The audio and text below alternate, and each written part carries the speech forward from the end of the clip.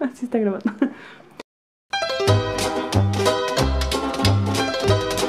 Aimer toujours le même homme.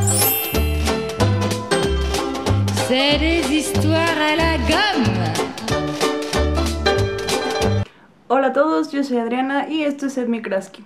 Sí, otra vez una ausencia repentina y prolongada, pero ya saben, hashtag cosa de graduados. En otras palabras, amigos, valoren mucho no tener que estar buscando trabajo y viviendo en la total incertidumbre.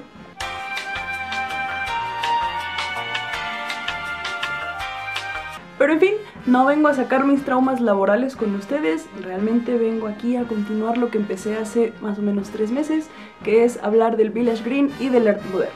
Por cierto, los invito a tomarse un shot de lo que ustedes quieran por cada vez que en este video diga las palabras Village Green. Les prometo que se van a divertir muchísimo más. Como ya saben, esta es una miniserie porque tengo muchas cosas que decir sobre este disco y porque es el mejor disco del mundo, simplemente se merece una miniserie. Y en la primera parte estuvimos viendo cómo el contexto de creación del Village Green fue muy parecido al contexto en el que surgió el arte moderno. Si quieren recapitular, les dejo por aquí el link y si no, también recuerden que voy a estar metiendo todos los videos de esta serie en una pequeña playlist. Como les prometí en el video pasado, en esta ocasión sí vamos a tener análisis de una canción y lo vamos a hacer esta vez de el fabuloso manifiesto que abre esta bella obra de arte que es The Village Green Preservation Society. Y vamos a tener en mente esta palabra, manifiesto. Como ya habíamos dicho, el arte moderno no es únicamente un estilo, un tipo o una técnica. Más bien es un término utilizado para designar a todo el rompimiento de métodos de producción artística que surgió a finales del siglo XIX e inicios del XX. O sea que es el paso de esto a esto. Cada quien podía hacer lo que quisiera, como quisiera, hablar de lo que quisiera y, aún más importante, no había una academia que dijera que estaba bien y que estaba mal. En movimientos más antiguos como el barroco o el realismo sí había una cierta estética impuesta. Y por lo mismo muchas similitudes entre obras de estas corrientes en diferentes partes del mundo. Por ejemplo, aquí hay una pintura del barroco español y aquí hay una del italiano. Pero a inicios del siglo XX había muchísimos movimientos artísticos al mismo tiempo. Algunos de los más nombrados son el dadaísmo, el surrealismo y el cubismo. Sí, casi todos los ismos. Y yo de entrada les digo que esto de asumirte a ti mismo como una sociedad y exponer en tu obra en lo que crees y lo que idolatras, eso es muy de las vanguardias artísticas de inicio del siglo XX. Específicamente del futurismo italiano, del dadaísmo suizo y de mi orgullo nacional, el suprematismo mexicano. Desglosando un poco. Estas vanguardias de las que les hablo eran básicamente artistas juntándose en cafés, en bares, en tabernas para hablar de arte y hacer arte. Arte que como ya saben en ese entonces iba contra todo lo establecido. Y esos artistas eran un poco más explícitos al respecto. Por ejemplo, si el movimiento antes se representaba así, los futuristas italianos lo representaban así. Si una construcción se representaba así, el estridentismo mexicano la representaba así. En fin, ejemplos más, ejemplos menos. Estos llamados coloquialmente ismos tenían sus manifiestos y ahí exponían, como ya les dije, en qué creían, qué los inspiraba, qué estilo seguía su vanguardia y de alguna manera también validaban su existencia. Vaya, vaya, ¿a quién me recuerda esto? ¿Cómo se relaciona el Village Green con todo este parloteo? Pues preguntémonos qué es The Village Green Preservation Society. De entrada, el nombre completo de este disco es The Kings Are The Village Green Preservation Society. O sea, los Kings son la Sociedad de Preservación de la Villa Verde. O sea, se asumen a ellos mismos como una sociedad o como un grupo que busca algo. O sea que esta canción que abre el disco es prácticamente el manifiesto de esta sociedad. Sí, Así como Tristan Tzara escribió el manifiesto del dadaísmo suizo, Ray Davis, amo y señor del storytelling de la clase media británica, escribió el manifiesto de la Villa Verde. Pero ahora vamos a ver cuáles son los tótems a alabar de esta sociedad.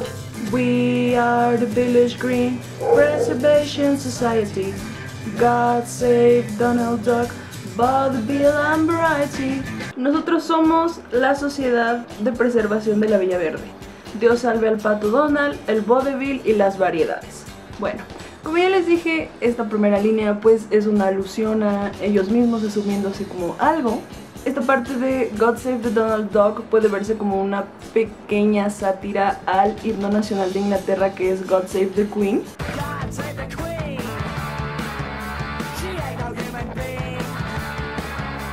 Y el hecho de escoger específicamente Donald Duck creo que puede ser por el uso del slang de rima Cockney. Vamos a hacer aquí un pequeño paréntesis. ¿Qué es el slang de rima Cockney? Los Cockneys son personas de Londres de la parte este, muy muy al este, y tienen una manera muy particular de hablar, tienen un acento muy particular y su slang es aún más particular. Why not? Because I said so, alright? And I have to do everything you say, do I? No, you can't tell me what to do, you ain't my mother! Este slang de rimas se basa principalmente en tomar una palabra y sustituirla por dos palabras en la que la segunda palabra rime con la palabra que se está sustituyendo. Mejor les voy a dar un ejemplo. Un cockney podría decir apples and pears en lugar de stairs, pero es una sustitución literal, o sea, podría decir I went down the apples and pears en vez de decir I went down the stairs, o sea, bajé las escaleras. Baked bean. You gotta love the baked bean. Queen. You've got to love the Queen. Pero no voy a convertir este video en una clase de inglés, así que mejor les voy a dejar unos videos aquí abajo que les van a explicar mucho mejor qué es el slang de rimas Cockney y les van a dar unos ejemplos que la verdad es que algunos se me hacen muy interesantes. Bueno, el chiste es que en el slang de rima Cockney, Donald Duck puede significar dos cosas, lock y fuck. Aunque, de alguna manera, aquí tiene mucho más sentido que signifique lock. Así que tenemos Dios salve a la suerte. O sea, es que no quisiera mal pensar de Ray Davis. si fuera fuck, me suena que eso es algo que metió Dave Davis y eso no me suena a Ray Davis para nada. Igualmente, los teatros de variedades fueron un tipo de entretenimiento teatral, obviamente, muy popular a inicios del siglo XX y a finales del siglo XIX. Aquí en los teatros de variedades se presentaban diversos números musicales. Y bueno, el vaudeville simplemente es la versión francesa de estos teatros. Y era un género que intercalaba comedia con música. Y bueno, el vaudeville y las variedades, pues los dos son tipos de entretenimientos más clásicos. We are the Desperate Dan Appreciation Society. God save strawberry jam and all the different varieties. Ok, somos la sociedad de apreciación del desesperado Dan. Dios salve a la jalea de fresa y a todas sus diferentes variedades. Bueno, ok. Desperate Dan o El Desesperado Dan es un personaje de tiras cómicas inglesas. Y la mermelada de fresa o la jalea de fresa es, una de es uno de los elementos más importantes de las cosas, bueno, de la comida dulce inglesa, sobre todo del British breakfast. O cada que incluye, cada que un desayuno o que algo incluye como tostadas, pan con mermelada y todo eso, casi siempre es mermelada de fresa. Preserving the old ways from being abused. Protecting the new ways for me and for you. What more can we do? Preservando las antiguas costumbres de que sean abusadas, protegiendo las nuevas costumbres para ti y para mí. ¿Qué más podemos hacer? Para explicar esta parte me voy a tardar un poquito, así, unos minutitos. Un segundo más y un momentito chiquirriquitito más. Pero no importa porque esta parte se repite mucho en el video, así que cada que escuchen esta estrofa ya sabrán a qué se refiere. Miren, como tal, una villa verde, una verdadera villa verde es un área verde, pues sí, un área verde, es un área verde gigante pública que generalmente tiene un laguito bien mono y se puede usar como pues para fiestas comunales, por ejemplo para las fiestas de la Pascua, para el día de mayo, bueno, o May Day. Que, por cierto, por favor, ahórrense las referencias, los chistes y los comentarios a Midsommar y a la May Queen. Ya me los sé todos, ya los vi todos y me da miedo. Por favor, aquí no hagan referencias a películas de terror porque me asusto mucho. Tengo miedo, tengo miedo. Usted me da miedo, mejor me voy, tengo miedo. Bueno, sí, en general estas villas verdes se pueden usar para cualquier fiesta pública. Cuando empezó la urbanización masiva a mediados del siglo XX, obviamente estos lugares empezaron a ser desplazados. Y surgieron literalmente sociedades de conservación y protección de estos lugares. Hoy en día aún existen, una de las más conocidas es la Open Spaces Society, pero bueno, como ya habíamos dicho, para este disco tenemos un concepto muy nostálgico, pero que no se nos olvide que también es una composición de Ray Davis. Así que nos podemos esperar cualquier sentido figurado, cualquier sátira, cualquier chistorete que se le ocurriera en ese momento lo que sea. Así que estamos hablando de que en este caso la Villa Verde no creo que se refiera específicamente a un espacio abierto, sino que más bien es una representación metafórica de toda esta nostalgia, de todas estas cosas clásicas y también nos encontramos con esta sátira que les mencionaba. O sea, ¿qué tan clásico es lo clásico que menciona esta canción? ¿Qué tan en serio es este tradicionalismo del que nos hablan los Kings? O sea, de verdad, de verdad, de verdad, ¿se les hace más clásico el pato Donald que la reina Isabel? Bueno, pues la verdad a mí sí. Pero bueno, mejor díganme ustedes qué piensan, qué tan serios son los Kings con respecto a su tradicionalismo en esta canción. We are the Drug Beer Preservation Society. God save Mrs. Mops and good old Mother Riley. Somos la Sociedad de Preservación de la Cerveza de Barril. Dios salve a la señora Mops y a la buena vieja madre Riley. Aquí tenemos otra vez a los Kings asumiéndose como una sociedad rescatadora de algo, en este caso de la cerveza de barril. Como saben, algo muy tradicional en Inglaterra son los pubs. British pubs, Irish pubs, ya saben, esos bares muy tradicionales. Igual de tradicional que los pubs es la forma de hacer cerveza. Inglaterra es un país que sí produce cerveza, no es un país que nada más importe cervezas de otros lados. El más famoso es el Ale Real, que es una cerveza de fermentación lenta, me parece. Pero lo particular del Ale Real es que esta termina de madurar en la bodega del pub en el que se va a vender. O sea, no termina de madurar en la cervecería que la produce, no termina de madurar en la bodega del pub. Es algo más tradicional, más artesanal, ya saben, just British things. La cosa está en que en los 60 con toda esta globalización, estandarización, como ocurría con todas las cosas, estaba creciendo la producción de cerveza. Por lo mismo se automatizó su forma de producción, lo cual empezó a hacer que las producciones artesanales se empezaran a ir olvidando. Además de que cambió incluso la forma en que servían las cervezas en los pubs. Pasaron de servirla literalmente de los barriles de madera a servirlas con los presurizadores que todos conocemos hoy en día. De cierta manera es otra cosa muy tradicional y muy simbólica que nos muestra todo este cambio de procesos tradicionales, de maneras clásicas de hacer las cosas, a esta estandarización y modernización de la sociedad en los años 50 y 60. Como dato extra, en 1971, tres años después del lanzamiento de este disco, surgió algo llamado la CAMRA, o sea, la Campaign of Real Ale, que era un grupo que se dedicaba a intentar preservar los métodos artesanales de producción de cerveza. Ya saben, lo de siempre, los Kings inspirando a la gente. Ahora, con respecto a la señora Mob.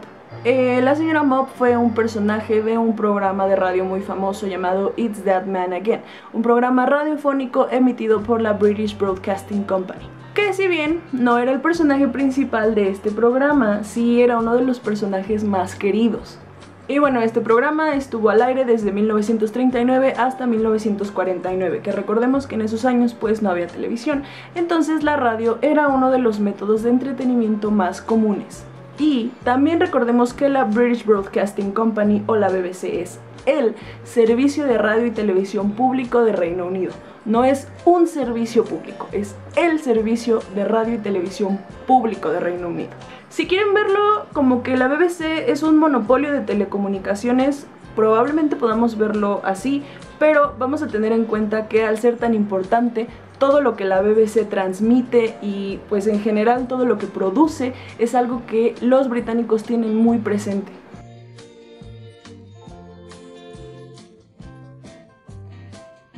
Es algo que es completamente parte de la cotidianidad de los británicos. Entonces, siendo así, sus programas y sus personajes también están muy presentes en la vida cotidiana de las personas. Y la buena vieja madre Riley también es un personaje que igual que Mrs. Mobs y su programa surgió en los años 30, solo que la madre Riley era un personaje interpretado por el actor Arthur Lucan para un acto de music hall británico. El music hall también era un tipo de entretenimiento muy común a finales del siglo XIX más o menos y aún a principios del siglo XX cuando todavía estaba la reina Victoria en el poder.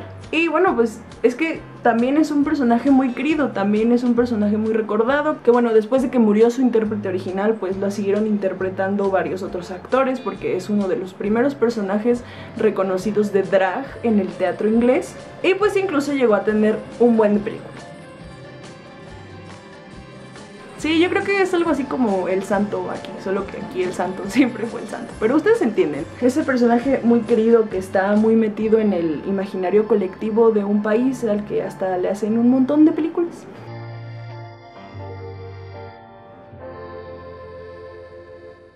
We are the Appreciation Consortium.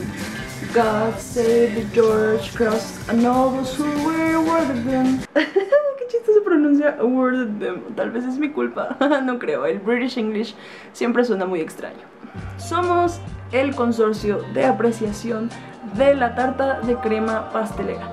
Dios salve a la Cruz Jorge y a todos los que se la han ganado. La tarta de crema pastelera es uno de los postres más clásicos, más tradicionales de Reino Unido y de hecho es el pastel original con el que se hacían las rutinas cómicas de los pastelazos en la cara, nada más para que se den una pequeña idea de qué tan icónico es este postre. Ahora, la Cruz Jorge es una condecoración que se instauró en el reinado de Jorge V, me parece, a raíz de los sucesos de lo que se conoce como The Blitz. The Blitz fue esta época de bombardeos de la Alemania nazi a Inglaterra entre 1940 y 1941. Y la Cruz Jorge fue una condecoración que implementó Jorge V para celebrar la galantería no operativa o más bien, tal como lo dice la Gaceta Oficial de la Cruz Jorge, por actos de gran heroísmo o por el valor más notorio en circunstancias de extremo peligro.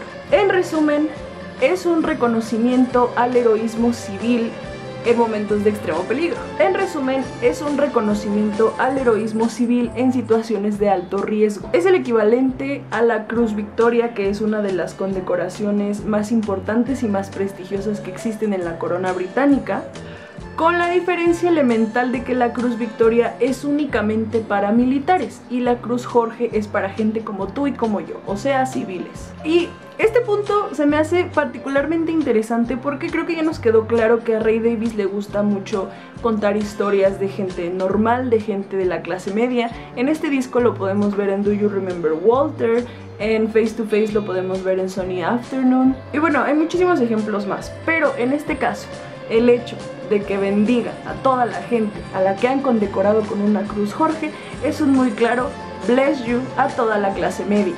We are Sherlock Holmes, English speaking vernacular. Help save Fumanchu, Moriarty Dracula.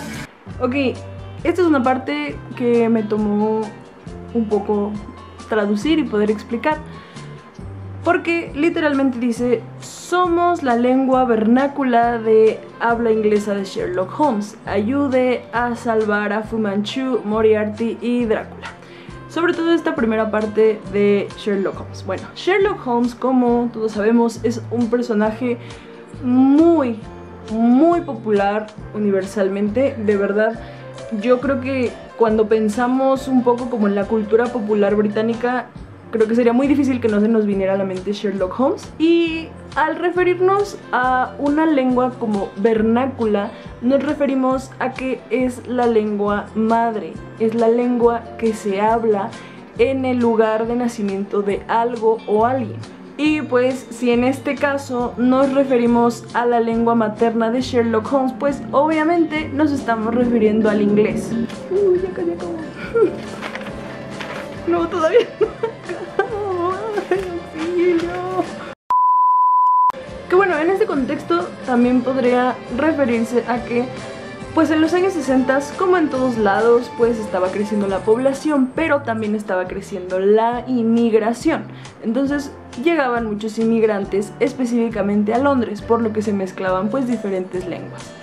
Entonces esta parte podemos verla como una cierta nostalgia a un momento en el que el inglés pues era la lengua más hablada en Londres, cuando no había tanta mezcla de lenguas habladas por ahí. Y Fu Manchu, Moriarty y Drácula son tres personajes muy conocidos allá sobre todo. Fu Manchu es un personaje de un libro de 1913 que se llama The Mystery of Dr. Fu Manchu.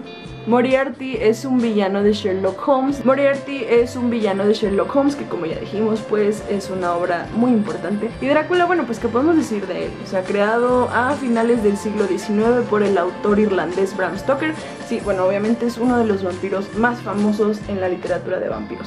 Obviamente no tan famoso como el buen Edward Cullen, pero ustedes entienden.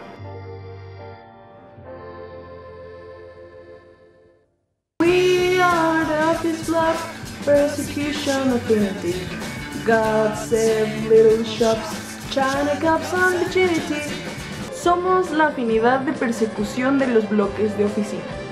Dios salve a las pequeñas tiendas, a las tazas chinas y a la virginidad. Bueno, los bloques de oficina no se refiere a los cubículos como de 15 centímetros por 15 centímetros, sino que literalmente se refiere a los edificios que casi siempre están ubicados en zonas comerciales o zonas ejecutivas en los que sus pisos se rentan únicamente para hacer oficinas. Esto pues obviamente nos da una imagen muy cosmopolita, una imagen únicamente de una ciudad ya industrializada y pues obviamente si dicen que lo persiguen es porque no les agrada. Las pequeñas tiendas yo me imagino que se refiere como a los comercios locales, no sé si simplemente como a tiendas de la esquina, bueno lo que aquí en México serían tiendas de abarrotes o a lo mejor a la carnicería local, a la verdulería local, bueno la grocery store. No sé si se refiere únicamente como a cosas de alimentos, puede que también se refiera como a boutiques o algo así, porque pues como todos sabemos, en ese entonces pues ya con globalización y modernización, pues ya había cadenas de centros comerciales, este, boutiques de lujo, tiendas de autoservicio, en fin, ya saben, el rico siempre humillando al pobre. Tazas de China no se refiere a tazas chinas hechas por infantes esclavizados, con paga de un dólar el día. Se refiere literalmente a tazas de porcelana china. Tazas de porcelana china, sí, porque más famoso que Harry Potter, más famoso que los Beatles es la hora del té. Y bueno, ya saben que no hay nada más inglés que tomar especias robadas de países colonizados, en tazas de material robado de otros países colonizados. Sí, bueno, ya saben, cosas tradicionales. Y la virginidad. Obviamente en los 60 en plena revolución sexual, pues ya se estaba comenzando a romper este tabú con respecto a las relaciones sexuales fuera del matrimonio principalmente. Este valor como tal ya empezaba a perder pues su importancia en la sociedad. Pero justamente como habíamos estado hablando de la ironía y de las burlas, yo creo que esto sí es una completa burla, porque ser hermano de Dave Davis y enaltecer la virginidad, no, no, no, simplemente no, just no, eso a mí no me cuadra. We are the skyscraper combination affiliates. God save to the houses, antique tables and billiards. Somos los afiliados de la condenación de los rascacielos.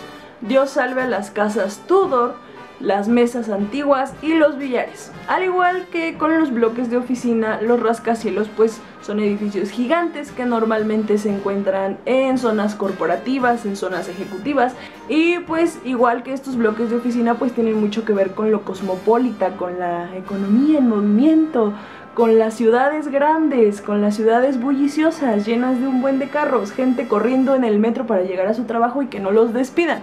Ya saben, cosas muy modernas y obviamente La construcción de estos rascacielos casi siempre es muy muy ruidosa, es muy nociva, eh, entorpece mucho el tráfico, se gasta mucha agua, se gasta mucha luz, este, se tumban muchos árboles, se quitan muchos parques, en fin, el capitalismo en su máximo esplendor. Con las casas Tudor no creo que se refiera particularmente a la casa de Tudor, o sea, a la dinastía, porque pues para este momento ya nos quedó muy claro que, ok, si Rey David sí habla de muchas cosas inglesas, pero yo hasta ahora pues honestamente no lo he visto enaltecer a a la reina o a la corona en general. Entonces yo creo que en este caso se refiere literalmente a las casas Tudor, con estilo arquitectónico Tudor, que fue un estilo que, como su nombre lo dice, fue un estilo arquitectónico implementado durante la dinastía Tudor, específicamente en el reinado de Enrique VII.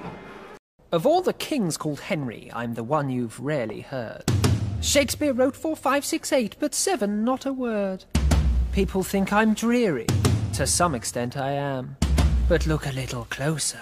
Y 300 años después, aproximadamente por 1800 y tantos, 1910 más o menos, esta arquitectura volvió con el nombre de Neo Tudor. Pero obviamente es una arquitectura que apela mucho pues a la sobriedad, al clasicismo, bueno, a lo típicamente inglés. Antique tables, mesas antiguas, yo ya les había hablado en el video de Mad Men un poco sobre el estilo mid-century, pero bueno, obviamente no los voy a mandar a ver ese video.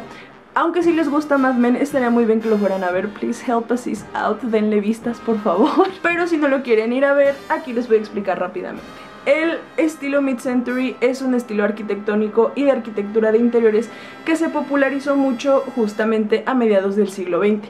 Es un estilo muy moderno, es un estilo muy sobrio, hasta cierto punto muy minimalista y pues miren, así se ve una mesa en estilo mid-century. Y bueno, Antique Tables es algo así, obviamente. Creo que aquí se puede ver muy claro el contraste entre lo moderno que era pues lo que estaba, que bueno como les digo el mid-century era lo que estaba de moda en ese entonces y lo antiguo que pues es algo más tradicional, es algo que a lo mejor lo podríamos ver como más cursi, más adornado, más estorboso, pero al final de cuentas sigue siendo lo tradicional.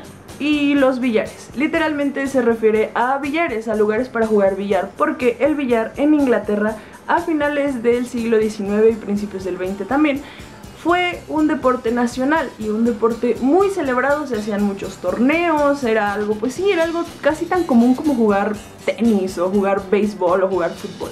Y yo no sé qué tan común sea o cómo sea como en donde ustedes viven, pero por ejemplo, al menos aquí en México sí hay billares como tal, o sea, así como en Inglaterra hay salones para jugar billar, aquí en México también hay muchos, aunque normalmente aquí en México casi siempre son lugares como bien rascuachos, cerca de prepas públicas, de universidades, como para que queriendo o no queriendo te vayas a jugar un ratito entre clases y después se te olvide regresar a tu examen. Eh, no es que me haya pasado, pero bueno, ustedes entienden. Observing the old ways from being abused Protecting the new ways for me and for you What more can we do? God save the village dream y pues eso es todo con esta canción. Ah, qué gran canción, voy a llorar amigos, qué bello. Y pues sí, Dios salve a la Villa Verde. Y como pudieron ver, esta canción es el manifiesto de esta obra, que como dijimos en el video anterior, es una oda a la nostalgia, al pasado, a los espacios abiertos. Y yo creo que aquí queda muy bien establecido eso con todas esas referencias que se hace al imaginario colectivo británico, que la mayoría son cosas que yo creo que uno como extranjero no, no conoce tan fácilmente, ¿saben? O sea, yo siento que es como llegar a algún lugar, algún lugar, por ejemplo, de habla inglesa y preguntarle a la gente por Sor Juana, tal vez. O sea, a lo mejor unos cuantos que la han leído si la conozcan, pero pues no sé, a lo mejor no, no es así como que el icono, ¿no? ¿Saben? O sea, no es así como que cualquiera fuera de aquí lo conoce. Y pues obviamente aquí Ray Davis pues como nativo inglés del siglo XX, pues son cosas con las que seguro creció. Como sabemos, los Kings estaban vetados de Estados Unidos, ya sé que lo menciono en cada video, pero es que de verdad creo que eso es algo muy importante, eso es algo que tenemos que tener en consideración, porque es algo que obviamente afectó a lo que componían y a lo que hacían. O sea, Ray Davis en este momento, en ese momento de su vida, no se americanizó como otras bandas. Por ejemplo, los Beatles se americanizaron muchísimo, los Rolling Stones no se diga, Eric Burdon and the Animals, bueno, o sea, haciendo canciones del Monterey Pop Festival, bueno, pues esas bandas se americanizaron muchísimo, los Kings no, porque no llegaron. Al contrario, Ray Davis siguió contándonos historias de personajes totalmente ingleses. Y pues como les digo, este disco en particular, digo, obviamente como les decía hace rato, tenemos en Face to Face a Sony Afternoon, que pues nos habla de lo que es pagar impuestos, pero aquí particularmente nos llena de puras cosas de la Inglaterra en la que él seguro creció y de la que seguro supo porque pues como sabemos tenía hermanas mayores y pues gracias a ellas fue como que tuvo este contacto con la música. Entonces pues les digo que aquí nos llena de esa Inglaterra del pasado, esa Inglaterra en la que él y Dave fueron niños y sus hermanas pues ya más adolescentes. Que por cierto, yo no sé ustedes, pero yo siento que Ray Davis en ese entonces era como de esos jóvenes adultos que le decían a los adolescentes, en mis tiempos íbamos al teatro, no como ustedes jóvenes de hoy en día que tienen su CinemaScope, siendo que seguramente también le tocó como ir a ver películas en CinemaScope siendo joven. O sea, no sé, siento que Ray Davis nació siendo como ya un señor. Y bueno, aquí además de todo, pues enaltece y nos hace voltear a ver cosas pues como les digo, totalmente inglesas, pero cosas como más típicas, más comunes, como les decía hace rato, no nos hace voltear a ver a la monarquía, nos hace voltear a ver al limpiador de alfombras o pues a los personajes de radio que pues seguramente sus vecinos y él le escuchaban. Bueno, no, tal vez él no, porque les digo que esos programas son como de los 30, 40. Pero bueno, que a lo mejor sus papás escuchaban cuando eran más jóvenes. Porque, ya saben, Ray Davis, héroe y vocero de la clase trabajadora. Y obviamente con su dosis de ironía y sátira, porque sigue siendo Ray Davis a final de cuentas. Y pues bueno, estos son los elementos que componen este manifiesto artístico que si le tuviéramos que poner un nombre basado en, como les digo, los ismos, yo le pondría Villaverdismo. Y bueno amigos, eso fue todo por el video de hoy, que creo que fue un poco largo, pero ya saben, es el Village Green, entonces no me puedo quedar callada, no puedo decir poquitas cosas porque es una obra excepcional.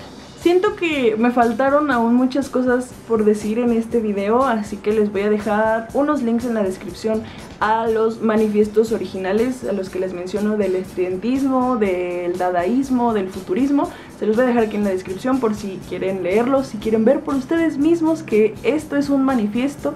Personalmente a mí me gusta mucho el del estudiantismo porque enaltece a Charles Chaplin y al mole de guajolote y eso a mí me recuerda mucho a enaltecer a Sherlock Holmes y la jalea de fresa. Pero como les digo, mejor véanlo por ustedes mismos. Espero que les haya gustado este video, cuéntenme por favor qué opinan de este manifiesto artístico, si creen que sí es un manifiesto artístico. Si ustedes tuvieran su propia corriente artística, ¿qué diría su manifiesto? El primer punto de mi manifiesto obviamente sería God Save the Kings. Les recuerdo que tengo una cuenta de Coffee por si quieren seguir apoyándome para que siga haciendo videos. Ya saben que no es algo obligatorio, simplemente es por si tienen ganas o por si está en sus posibilidades seguirme apoyando con este canal y pues obviamente se los voy a agradecer muchísimo. Tampoco olviden seguirme en Instagram, ahí soy un poco más activa, no me desaparezco por tres meses y estoy próxima a abrirle una cuenta de Twitter al canal. Si para el momento en que subo este video ya la tengo, pues también síganme en Twitter para que cuando empiecen a cancelar youtubers otra vez en Twitter y empiecen a pedir recomendaciones de youtubers que son buena onda, se acuerden de mí y me etiqueten. Ahora sí, yo soy Adriana, esto es Edmikraski y nos vemos en el próximo video. ¡Adiós!